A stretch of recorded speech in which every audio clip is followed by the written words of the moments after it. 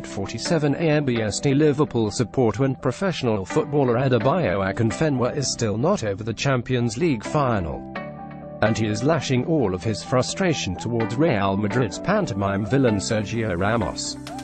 Ramos has come under fire for being part of the tussle that saw Mohamed Salah forced to withdraw early. With a shoulder injury before the Spain defender collided with Loris Karius, giving the Liverpool goalkeeper a concussion.